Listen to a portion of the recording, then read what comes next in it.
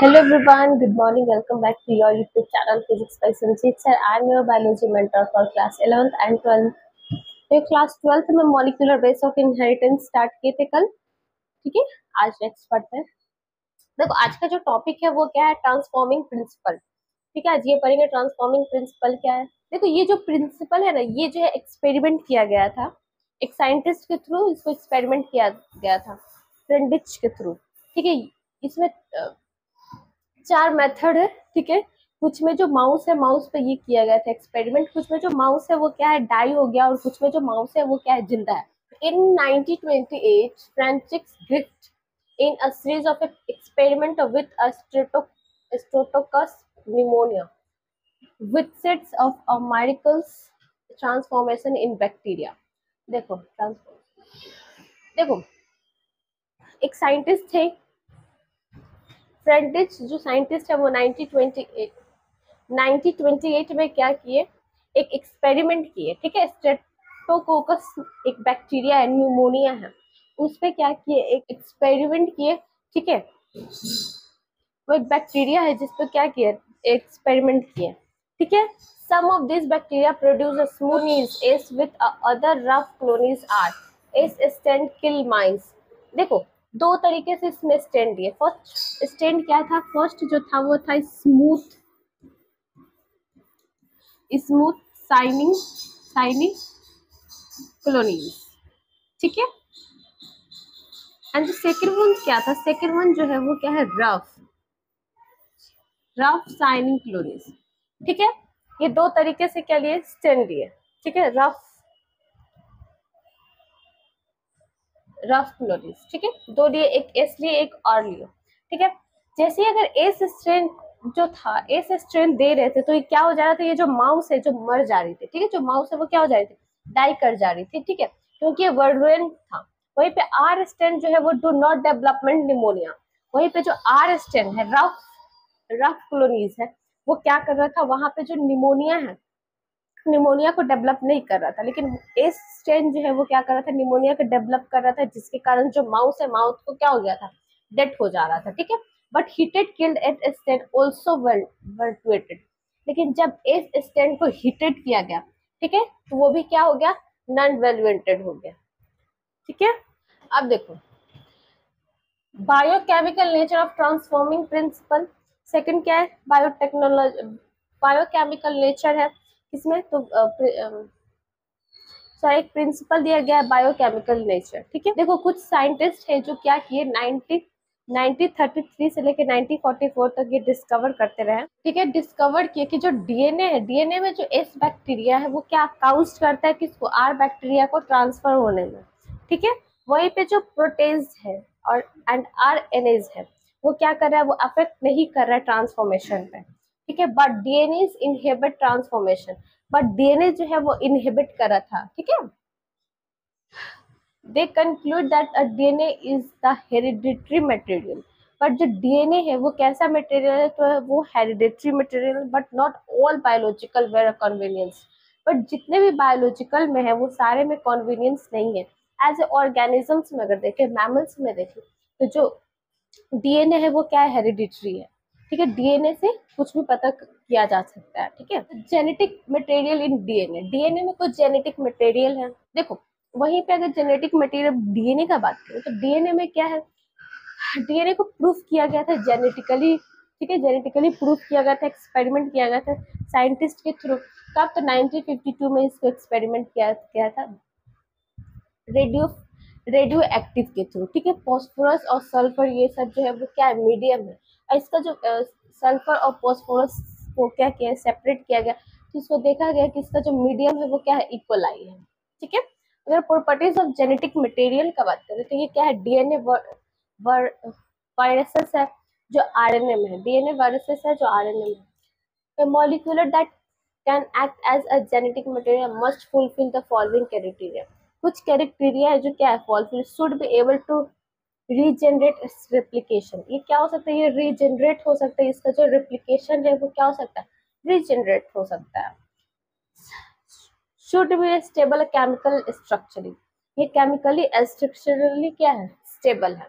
Should provide the scope for a slow mutation required for evolution. ये evolution के लिए भी क्या है? बहुत ज़्यादा ही important है, required है। Should be able to express in the form of Mendelian character ये मैंडलिन जो करेक्टर दिए थे, उस पर भी क्या होता है? एक्सप्रेस किया जाता है मतलब एबल है। ठीक है? देखो आर और डीएनए जो है, वो दोनों क्या है? डुप्लीकेशन है। The DNA has a two complementary standard if separated by heated can again come together when appreciated condition are prove देखो डीएनए जो है, उसके पास दो कॉम्प्लीमेंट्री स्टैंडर्ड है। ठीक है? जो अगर हीट करेंगे तो क्या हो जाएगा? सेपरेट हो जाएगा सेपरेटली हो जाएगा। Two O H group present at every nucleotides is R N A is mark easily degradable देखो, यहाँ पे दो ओ एच का group two O H group क्या हो जा रहा है? हर न्यूक्लियोइड में आरएनए को क्या कर रहा है? रिएक्टिव कर रहा है, ठीक है? इजिली डिग्रेड हो जा रहा है। R RNA is also catalytic RNA जो है वो क्या है? कैटालिटिक रिएक्शन है। Among two nucleic acid DNA is better genetic material देखो, दो न्यूक्लिक एसिड है, लेकिन डीएनए जो है वो क्या बेटर है? ठीक है, एक आरएनए है और दूसरा क्या डीएनए है? तो डीएनए जो है वो बेस्ट है बेटर है किसका? जेनेटिक मटेरियल को प्रूवमेंट करने के लिए, ठीक है प्रूव करने के लिए। Presence of a thymine at the place of the uric also confer additional stability of DNA.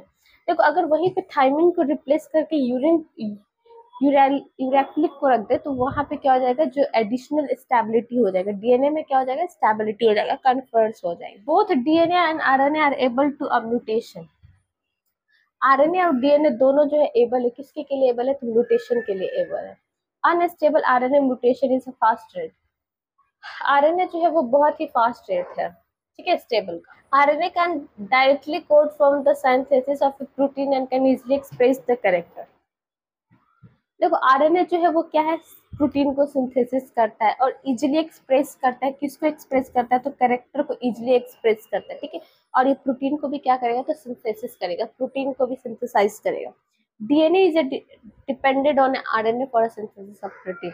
DNA जो है वो किस पे डिपेंडेड है? तो आरएनए पे डिपेंडेड है। क्यों? बिकॉज़ वो सिंथेसिस ऑफ़ प्रोटीन, वो प्रोटीन को बनाता है, इसलिए वो क्या है? डिपेंडेड है।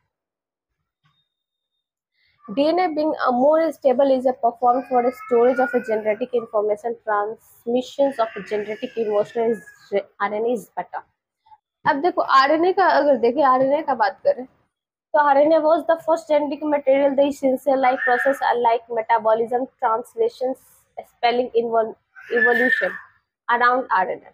देखो RNA जो है वो फ़र्स्ट जेनेटिक मटेरियल है ठीक है फ़र्स्ट जेनेटिक मटेरियल का बात करें तो वो क्या है? आरएनए ये क्या करता है? The life of a person metabolism करेगा। ठीक है ट्रांसलेशन करेगा। देखो, जो आरएनए है, वो यूज़ होता है किस पे? तो जेनेटिक मटेरियल पे यूज़ होता है एज वेल एज कैटलिस्ट पे भी क्या होता है? यूज़ होता है। So was reactive and hence unstable ये जो रिएक्टिव है, वो क्या है? स्टेबली अनस्टेबल है। ठीक है? DNA was involve from RNA DNA में क्या इन्वॉल्व होता है? तो आरएनए इन्वॉल्वमेंट हो। With a chemical modification that a more stable अगर केमिकली मॉडिफिकेशन करें तो ये ज़्यादा स्टेबल है। ठीक है? अगर इसका रेप्लिकेशन कैसे होता है तो वॉस्टन and Crick had immediately proposed of screen for replication of DNA will proposing the double हेक्सल structure of DNA देखो जो वॉटसन है और क्रिक है, वो क्या कि ये मीडियली वो एक स्क्रीन निकाले कि जो डीएनए है, वो क्या होता है रिप्लिकेट हो जाता है, ठीक है? वो डबल हेक्सल स्ट्रक्चर से डीएनए का जो डबल हेक्सल स्ट्रक्चर है, वो क्या हो जाता है? रिप्लिकेट हो जाता है, ठीक है?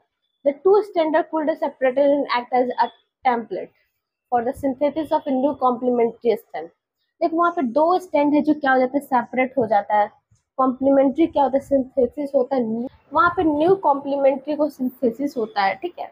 After complication of replication the D N A molecules could have one parental and one newly synthesis standard term as a semi converted D N A replication देखो, उसके बाद क्या होता है? यहाँ पे एक जो पेरेंटल का, एक मॉलिकुलर ठीक है रेप्लीकेट हो जाता है। एक जो पेरेंटल मॉलिकुलर है, वो एक न्यूली क्या बोलते हैं न्यूली जो बना हुआ रहता है स्टैंडर्ड उससे क्या होता है कंबाइंड कर जाता है, ठीक है? तो वो सेमी कन्वर्टेड डीएनए रेप्लिकेशन कहलाता है, ठीक है? देखो, ये वाला जो टॉपिक है, ठीक है, ये जो टॉपिक है, ये हम कल कवर करवाएँगे, ठीक है? टुमारो बिकॉज़ अच्छे से मैं बेटर वे से कवर करवा दूँगी, ठीक है?